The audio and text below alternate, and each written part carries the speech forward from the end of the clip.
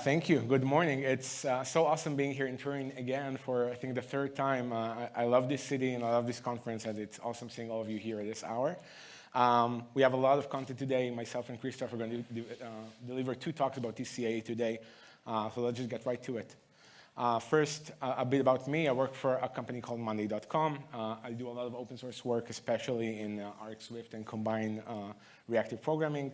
I speak at a lot of international conferences, uh, exactly like this one, and uh, a huge fan of Hackathon and uh, winner of some as well. Uh, also, I'm an uh, author and editor at Kodeco.com. Some of you know it as uh, Ray Wenderlich. The name changed recently. I worked on some of these books, all, all, of these books that you see here, and some tutorials on the website as well. So what am I going to teach you today? first of all, I want to kind of teach you what is the composable architecture at all and a bit about architectures in general. I want to teach you what TCA tries and aims to solve and some of its basic principles.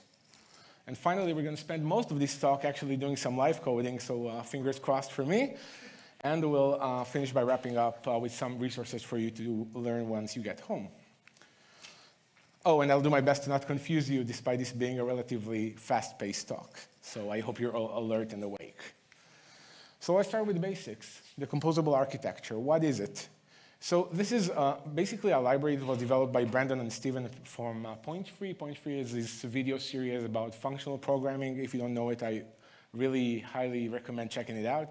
It's a library for building applications in a consistent and understandable way with composition, testing, and ergonomics in mind. And if we go back to the composable architecture, maybe let's zoom in on the word architecture here for a moment. When we talk about architecture, I like to think of it as some set of rules, techniques, processes, and patterns to develop some piece of software.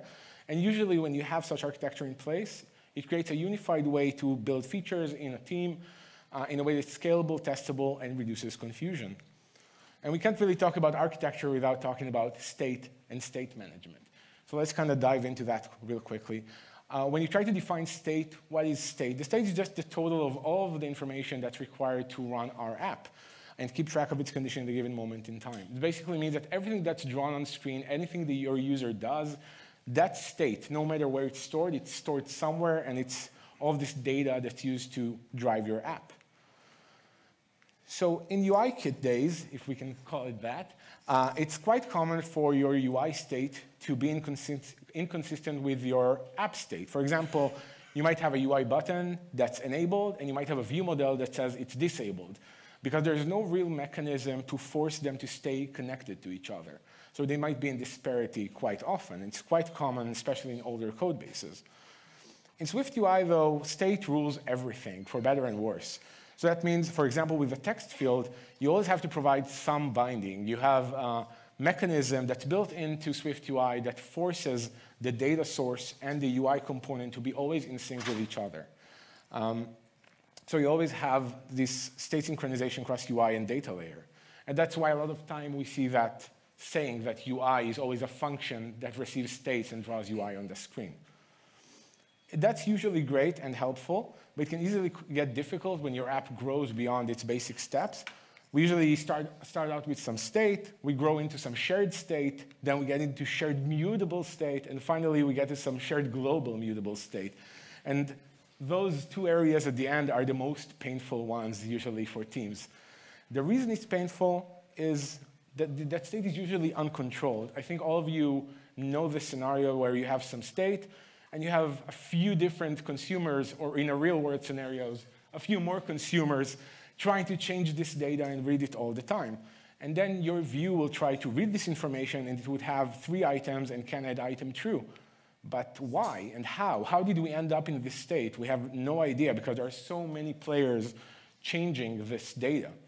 So this leads to a lot of race conditions and unexpected states, but really it makes it hard to reason about our application. We don't know why and how our application ended in that specific state. So, so with TCA, the composable architecture, it tries to solve this by having what's called a single entry point system. So only one way to change state in your entire app. You wrap your state in this store, and the store also defines a set of actions. And these actions are the only way to change your state. Basically, you can send something like add item or delete item, And then the store, using this reducer function, which we'll talk about in a moment, defines how to actually mutate your state based on the action. So you can say add item, and that will cause the item attached to it to be appended into the items array. So here, for example, we can do add item, delete item, add item, just dispatch all of these actions into the store. And when we look at the state and we see three items and that you can add an item, we can easily trace back because we can see a list of actions that were dispatched. And as we mentioned, actions are the only way to change state. So we can easily know how did we get into this state, why did we get into this state, and how state evolved over time. And the reducer is just a simple function. It's a function that takes our current state and the new action that was just dispatched, and it says, okay, I got this add action. What do I want to do with my state now? Okay, I want to go into my state, take this item, and put it into the state. So it's a very simple function. It's, re really simple and easy to test relatively to other ways. Um, and it's quite nice if you come from Redux or React, you probably use this pattern as well quite a lot. Finally, the last piece of this puzzle is side effects. So when we change state synchronously, for example, just appending an item to an array, we don't have any side effects. And when we talk about side effects, we mean about some asynchronous long-running piece of work, for example, a network request or some timer. For example, I might have gotten an add item uh, action, and as a response to it, I want to run some network request. So this is a side effect. And because the only way to mutate our state, again, is an action, this side effect will actually return a new action to handle this side effect as well. This might be a bit confusing, but we see it, we'll see it a bit in code in a moment, and it would make a bit more sense.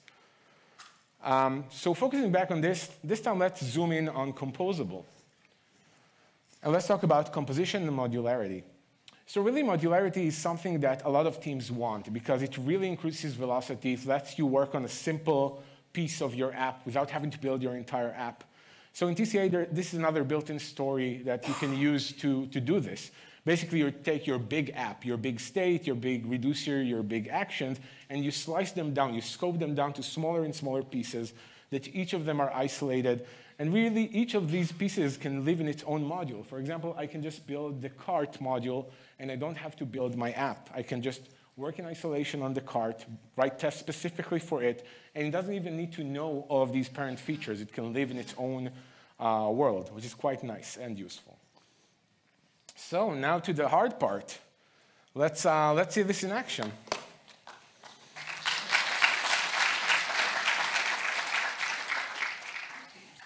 Okay, so uh, we have this simple Pomodoro timer app here. Um, let's get rid of this. Here we go. And uh, you will be able to kind of type text here and uh, play a timer and um, press one of these items. And I have a simple Pomodoro review here to, uh, to draw the UI. And as we discussed earlier, we need some reducer, state, store, all of these things to get started. So first of all, I'm going to start with making a file for my Pomodoro view. I'm just going to call it Pomodoro Swift. And in it, I'm going to import composable architecture. I'm just going to create a struct called Pomodoro. And the only thing I would need to do here is conform to something called reducer. And this reducer needs three things. First of all, like we talked, it needs actions. So it needs a way to change the state, things that are happening inside your UI or side effects. And this is usually an enum because action is a single thing. You can't have multiple different states of the action. The second thing is a state. So state also can be an enum or a struct. In this case, we're going to use a struct uh, for the state. And the last thing we need is a reduce function. And I'm going to return none here, and we'll explain it in a moment. So these are the only things you need to define a feature, a reducer, basically. And this reduce function, as we mentioned, it just takes your current state, which is mutable, it's in-out, and it takes the current action, and it says, based on this action, how do we want to mutate the state? Uh, there's also a nicer version of this that's relatively new called a reducer builder, where like in a Swift UI view, we can just return a body. We can return some reducer of our Pomodoro state and our Pomodoro action. Return a reduce inside. This will have a state and action. And here I'm going to return none. So return none, what this means is there are no side effects to run. We don't have any actions as well, so we have nothing to run here, so it makes sense. But once we have some actions, we'll see how we can return useful things from this area. Uh, also, a shorthand syntax here, we can also just use some reducer of Pomodoro, and it will automatically infer, infer the, the state and the action from that. Cool. So now let's think of our domain. We have our app. Let's start with this play button. Let's define a few actions to, to interact with our, with, our, uh, with our feature. So I'm going to do a start tapped action and a stop tapped action. And I'm going to set some state, is timer active. And I'm going to switch over my actions. And the nice thing here is that the compiler is going to force me to handle the current actions and any new actions I add to my reducer. For example, here, I will define that start tap means that my state changed in a way that the timer is now active. And on the other side, it's going to become inactive. And now it's complaining because I always need to return some side effect. I need to define what's happening after. But in this case, I don't have any side effects. I'm just returning none from both of these cases. Cool. Now let's plug it back, let's plug it into our view and see how it works. So the thing the view needs is called a store, which we discussed earlier. It kind of holds all of these pieces together. So we can just have a store, and this store is generic over the state and action. Um, we can just do Pomodoro state and Pomodoro action. And like the previous shorthand, we can also do that shorthand here and just say we want a store of Pomodoro, and it's a bit nicer. Now I'm going to go and fix my initializers. Uh, and to initialize a store, I just need an initial state, which is Pomodoro state. Pomodoro state, and my reducer, which is, a, which is just Pomodoro. And I'm going to copy this over to my app start point as well.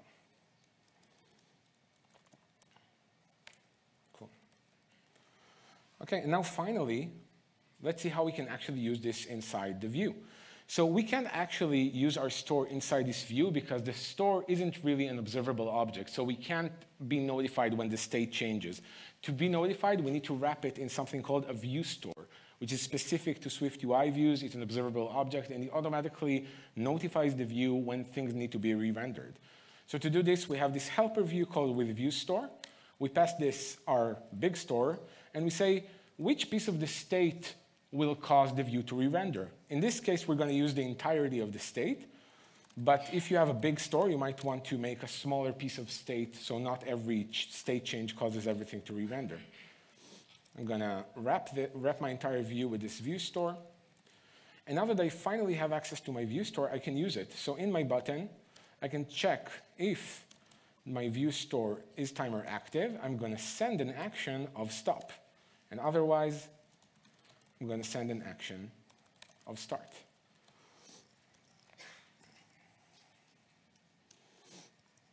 Okay, and I'm also going to update this icon that if timer is active, I'm actually going to have a stop circle fill icon, and otherwise I'm going to have a play circle fill icon.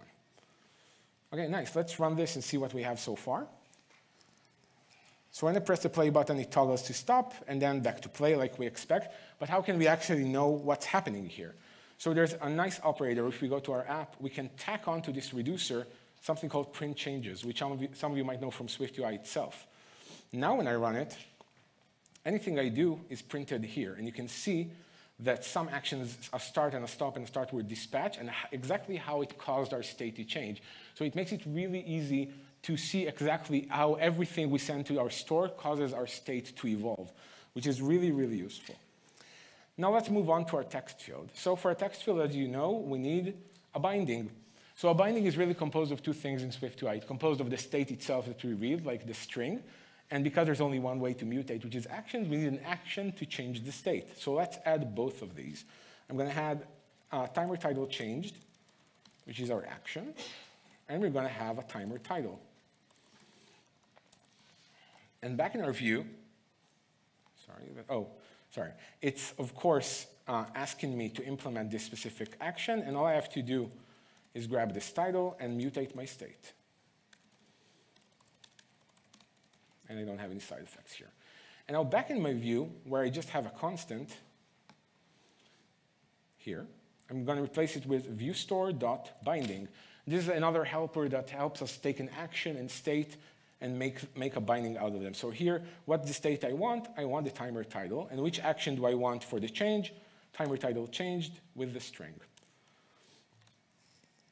And now when I run it, you'll see that I can finally type, and everything I type is also showing here, meaning every piece of information I type is an action. So again, we can even follow to the letter being typed on our UI. So we can really see anything that the user does. We can track it and debug it, and it's, it's quite nice. Um, I'm going to add a quick uh, computed property here called is start disabled. We're going to return if the, time, if the timer title is empty. And back in our view, um, yeah, I'm going to change the button opacity here. Let's find the button. Opacity, view store. Is timer disabled to 55, otherwise 1. And I'm also going to disable the button based on is the timer disabled. Is start disabled, sorry. And for the text field, I'm also going to disable it when the timer is running because we don't want the user to be able to type if the timer is currently running. Let's run this quickly and see that now our button is disabled. Once we start typing, it becomes enabled. And when we play, we can no longer tap here. So because a reducer is such a simple function, we can easily write logic that makes sense. We can easily reason about things that are happening in our system. And the nice thing about this is it's also really, really testable. We already have a tiny test suite here that's prepared. Let's write a quick test for this.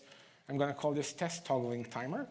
It's going to be async because the store is asynchronous, effects are asynchronous basically. And to test our store, we have a tool called a test store. It looks exactly like a regular store, but it needs uh, some state, some reducer, and that's it for now. And then I can just do await, store and send it something, for example, my start tap. And let's, let's kind of run this and see what happens.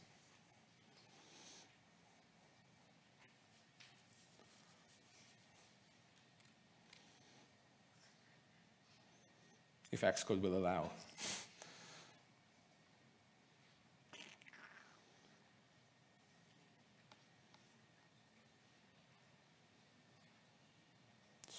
Try again.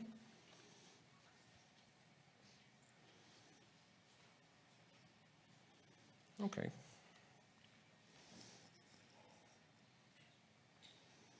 Okay, great. So now it's failing, and it's failing because I sent an action, but I'm not asserting how my state changed. Now I can open this trailing closure, and I can say, okay, now that I sent start tapped, what do I expect to change? Okay, I expect my timer active to become true. And when I send a stopped, I expect it to become false again. And now when I run my test, it passes. So we can not just track our state, we can easily write really comprehensive tests for exactly how every action we send causes our state to evolve and change, which is really, really nice. Now let's, let's get an, an actual timer running on the screen. So going back to our Pomodoro, I'm just going to add some state here for this, seconds elapsed zero. And I'm already going to plug this to the UI because we have a timer view here on top. View store, seconds elapsed. And now, what do I need to actually get a timer running? Timer is something that happens over time, asynchronous. So this already kind of sounds like a side effect, like we discussed earlier. So here, uh, instead of um, when, the, when it starts the timer, instead of returning none, I'm going to return a specific side effect called a run. This is one of the built-in side effects that come with TCA, but there are plenty others. And this gives us a block to run asynchronous work. And there's this send argument which we can send new actions to. So now to run a timer, I'm going to just add a clock here. It's going to be a continuous clock. And I'm going to say for await in clock timer every, uh, every one second. And then I need to do something every second to uh, progress the timer. I want to increment my seconds by one. But again, I can do this. I need an action to mutate my state. So I'm going to add a timer ticked action here. And I'm going to send this every second. And here I only have to handle my timer tick action, increment my seconds elapsed by one, and return a none here. Uh, and also when the user uh, stops the timer, I'm going to reset this back to zero. Okay, let's run this quickly.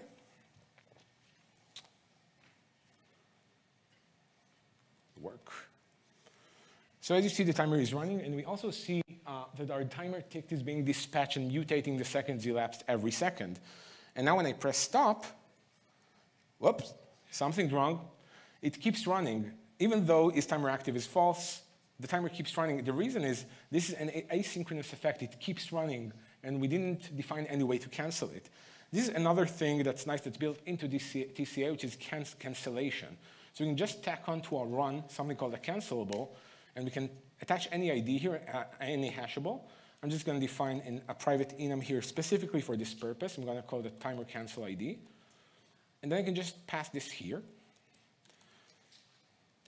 And on the stop, instead of returning none, I'm going to return a cancel effect. And it can take an ID or multiple IDs. I'm going to pass the same ID. So this means that I have a long-running effect. It's, it's identified by this ID, and when you stop, it cancels that ID. So now when I run it,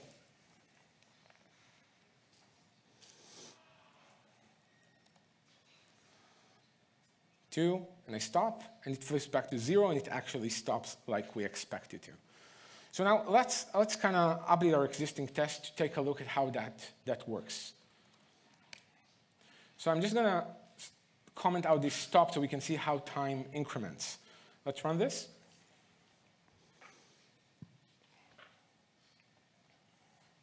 Okay, great. So it, it's failing expectedly because of this problem. It says that if an effect uses a clock or a scheduler, make sure that you wait enough time for it to perform the effect, or use a test clock. So here again, maybe I want to advance my timer a few seconds to, to see how it evolves, but how am I going to do that? Am I going to reach into my Pomodoro reducer by hand, go to the clock, actually wait five or 10 seconds? We don't really want to do this. So again, another thing bundled into TCA, which is really nice, is its own dependency injection resolution library.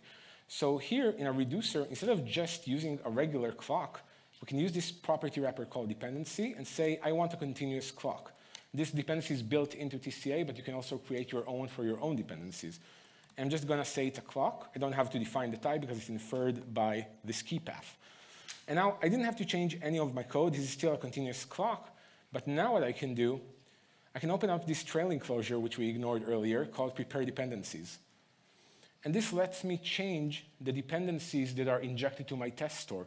So I can say that instead of my real continuous clock, I will use a different clock called the test clock. And now I can actually control time. Anyways, uh, so this means I can actually go to my test clock and say, uh, just advance yourself by, by one second, for example, or by three seconds, whatever I want. And now when I run it, it fails, but for a different reason. It says, okay, you waited three seconds, so there were three timer tick events. You didn't tell me they're going to happen. So we, again, want to test for everything that's happening in our system. So I'm going to say, okay, after the clock is advanced by three seconds, I expect the store to receive a timer tick. And this should cause my state to be 1, and then 2, and then 3. And finally, when I stop my timer, I expect it to drop back to 0. And now everything is running and everything passes. And now we tested actual time passing. And this could be 100 seconds, and you wouldn't actually wait 100 seconds because we are controlling this fake clock in a way that's really hard to do otherwise. Um, let's go back to our view to show a tiny cool bug here. But actually, first, I'm going to go to my app. And because I can control the state, I can do whatever I want. So instead of starting at zero, I'm going to start at almost 25 minutes.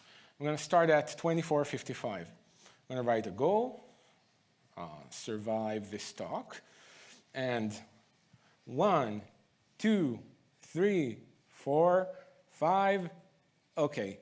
This should have stopped at 25, right? Because the Pomodoro timer is 25 minutes, but we didn't define any logic that does this. So we kind of discovered a bug here. Let's see how we can, uh, how we can fix it. So again, this is a really easy thing to fix because we have this reducer where we can just write all of our logic in a single place. So every time our tick changed after the increment, we're just going to check if our seconds elapsed is equal to the total seconds, which is just a constant I have, that's 1500, 25 minutes, and, but what are we going to do once that arrives? We actually want to simulate what would happen if the user tapped the button. So instead of returning a non-side effect, I can just return a send side effect, which delivers a different action. And now,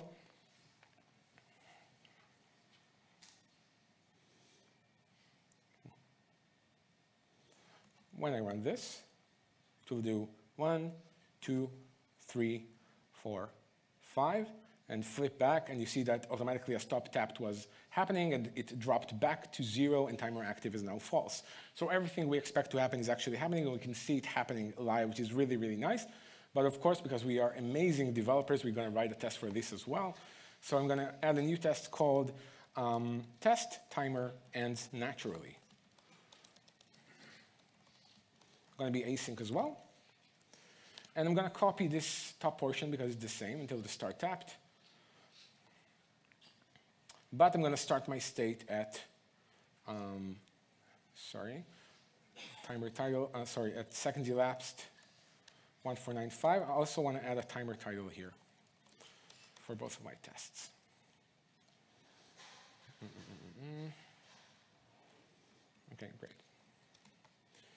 And now what I expect to happen is when I move the clock five times, so I'm going to do a wait clock advanced by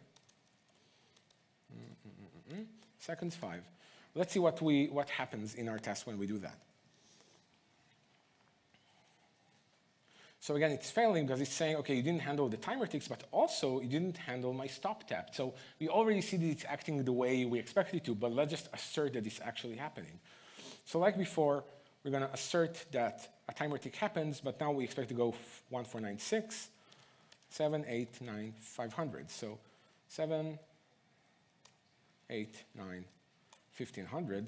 And at the end, we expect to, to get a stop tapped, and we expect the state to change in the same way it did here. Let's run this quickly. So again, we fixed the bug now and wrote a test to confirm that, again, the timer automatically stops when we reach 25 minutes. And this is, I could actually fix this bug without ever running my app. I could just verify my logic and know that it works this way without ever running my app, which is pretty, pretty nice. Okay, so now this, the last big portion of this screen is that we want to actually add timers to our Pomodoro list here uh, once the user stops. So first of all, I'm going to go back and I'm going to remove this default state. And uh, to save items, I need some state, of course. So let's store some timers here.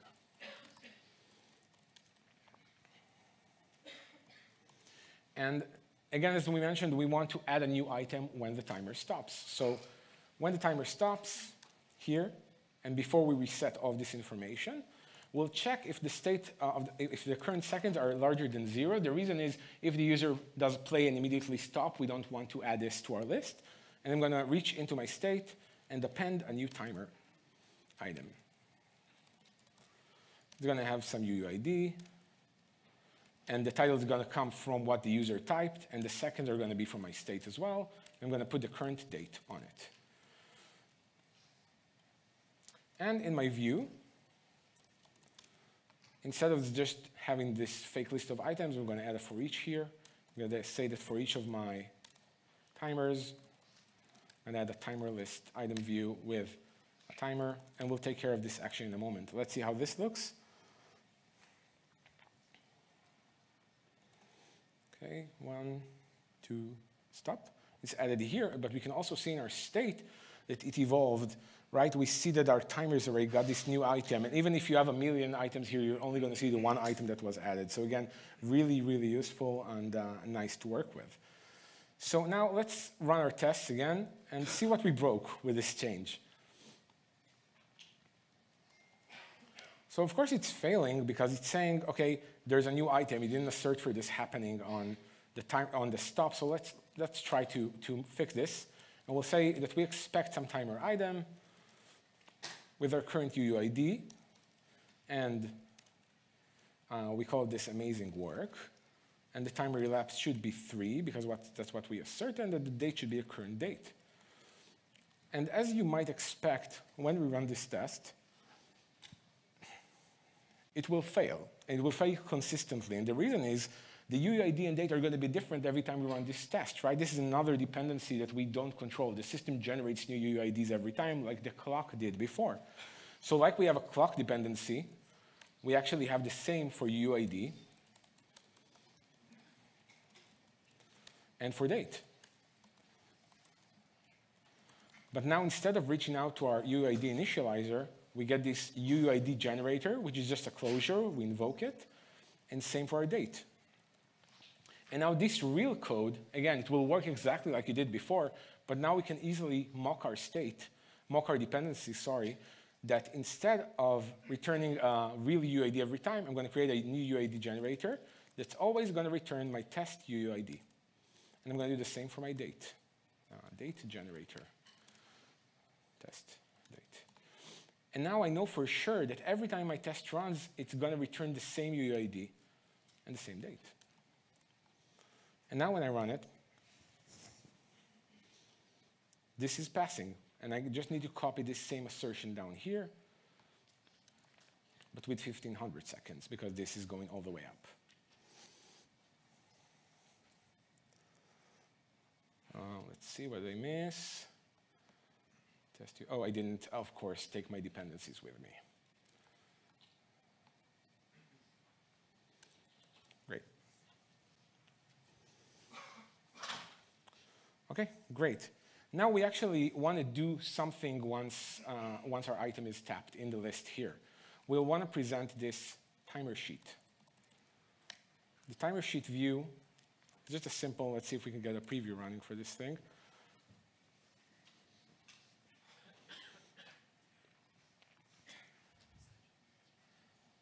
So it's just a simple modal sheet that will show the title of the work, how many minutes you spent on it, and give you a way to delete this item from the list if you want to do that. Uh, this, already, this, already, has a store and a reducer. It's really simple. It has a single action for tap to remove, and it has only a single piece of state, which is our timer item.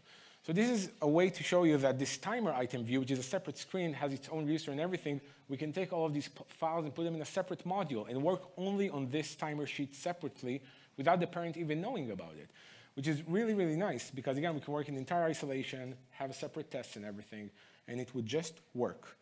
Um, so now we do want a way to, to communicate from the parent to the child if we want to present. So we'll go back to our Pomodoro view. And here, when it's tapped, we'll want to send some new action, which we don't have yet. We'll add it in a moment. And we'll say that the timer item was tapped, and we'll send the ID of our timer. Let's add this item now. Timer item tapped with an ID, which is our timer item ID.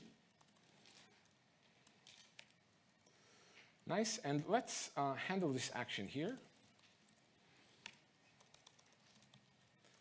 And here, I just want to print the, the, the, the, specific timer. So I can reach into my state timers and go first where the ID equals that ID. But actually, TCA ships with another built-in library that you can use separately called identified array.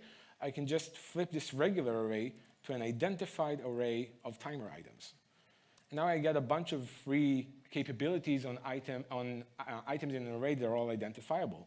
I can just go to my array of timers and get the first one that has an ID of my ID. Let's just print this and see what we're getting.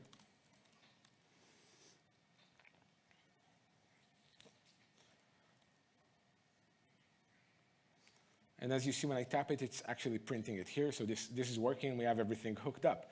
But now, as we said, the timer sheet is entirely isolated. It doesn't know about Pomodoro. So how can we glue them together? So we need a way, like we saw in the slides earlier, to take all the big state, the big actions, the big reducer, and scope them down to this smaller domain. Um, so because the parent always knows uh, the child state and the action in order to run. So if we have Pomodoro and timer sheet, Pomodoro needs to know timer sheet, but not vice versa. And the way to make this work is we need to keep track of actions for the child. For example, timer sheet action. This would be a timer sheet action here. And we're going to have to keep state of the timer sheet here as well. But for things that we want to present, like a modal sheet, there are a few built-in helpers that we can use here. We can wrap our action with something called a presentation action. This is going to add another layer above our actions, we have dismiss action. That means that automatically when the user dismisses the screen, we're going to get another dismiss action. It's going to handle changing all of the state. And to make these two pieces talk, we, also, we can also add this presentation state property wrapper here. And now we have both of our action and our state kind of uh, kind of contained in the parent of the small feature. Cool. Now we also want to update our item here. So when the user taps the item, we'll go to our state um, timer. Oh, sorry, we didn't. Yeah, timer sheet. And here we need to provide a timer sheet state. So we'll need to un unwrap this. Sorry, we'll need to take our timer like we did here. So you just take this timer and flat map into a timer sheet state in it.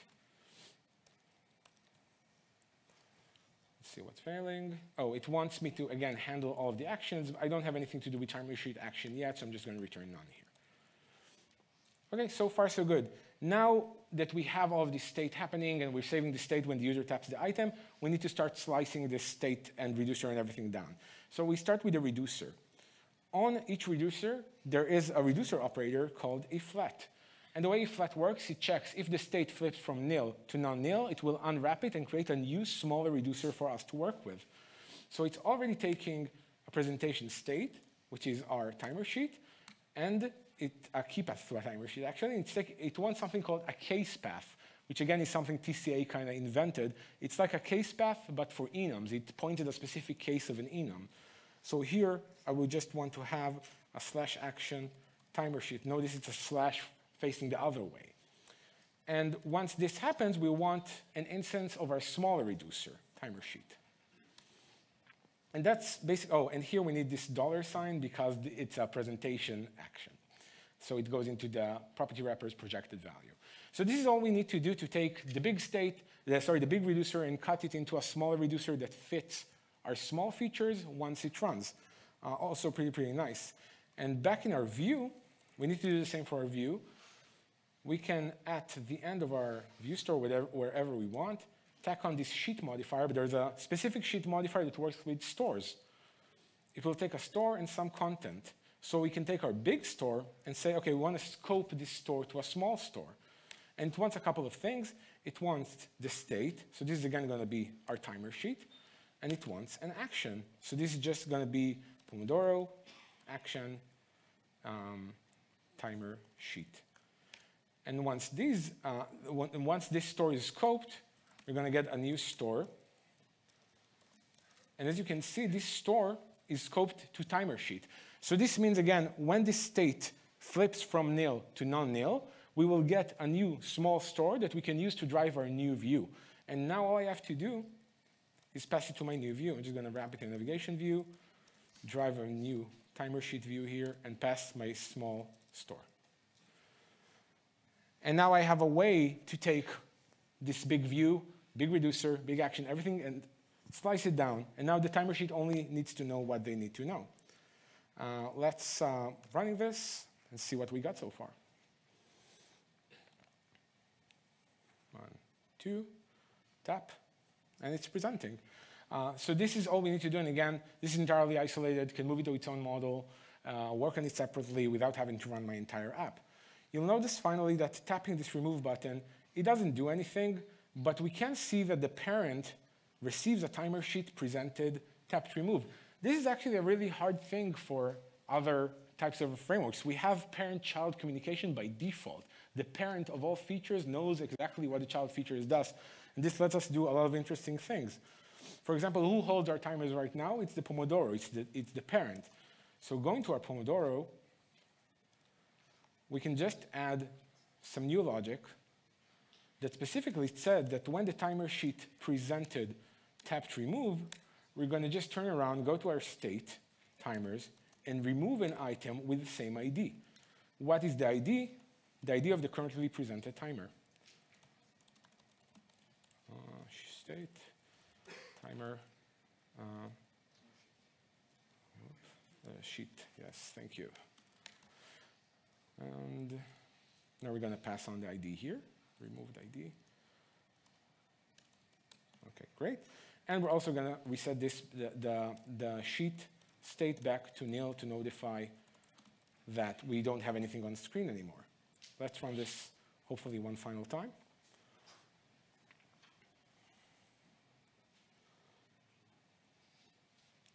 I'm going to have one timer, another timer.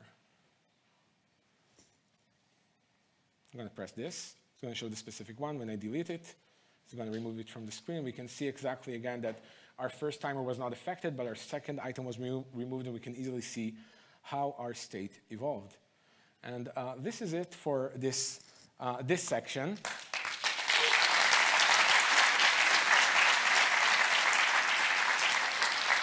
So, to wrap up, a few last points.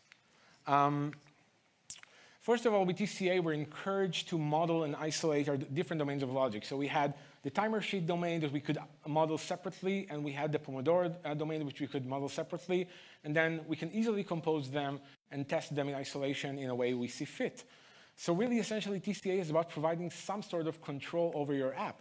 Either it's controlling your state and mutations, your dependencies, controlling time, and uh, side effects, and of course, controlling our tests. Uh, there's so much more to learn. There's no way I could fit more than this in 50 minutes. So please, I implore you to go to the point-free materials, whether it's the video series or the repo, and learn about view states and switch stores and custom dependencies and all of the amazing things that this uh, library offers. Um, the entire project is open source. And many of the libraries we discussed today, like dependencies and clocks, identified they're part of TCA, but they're also separate uh, dependencies. So it means that if you just want to have identified array in your app, you can use that. You don't need to take all of TCA if you're not ready to do that yet. There's a lot of really interesting tooling there uh, that's going to make your day-to-day -day life easier. Uh, and there's also a thriving community, and the proof to that is that we have two back-to-back -back talks about this topic today. There's a new Slack channel, relatively new, where a lot of the community kind of hangs around. And Stephen and Brandon also hang around there that, to answer your questions. Uh, really invite you to join. Uh, and that's it. Thank you so much for your time. I hope you enjoyed this. And uh, if you did,